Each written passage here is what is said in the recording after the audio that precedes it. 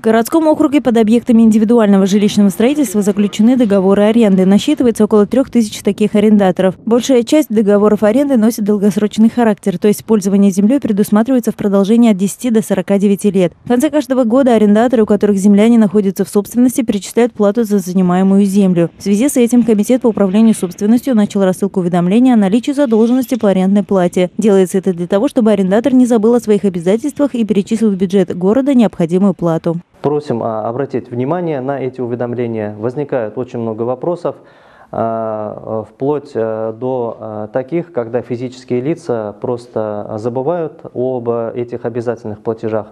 Поэтому, если возникают какие-то вопросы по непосредственным уведомлениям по арендной плате, если есть вопросы по уточнению непосредственно сумм, которые подлежат уплате, а, можно непосредственно обратиться в комитет по управлению собственностью а, и э, все эти вопросы здесь на месте уяснить. А, и, э, конечно, не нужно забывать о том, что физические лица, с которыми заключен договор аренды, непосредственно без уведомлений, самостоятельно в конце года должны заплатить э, за арендную плату.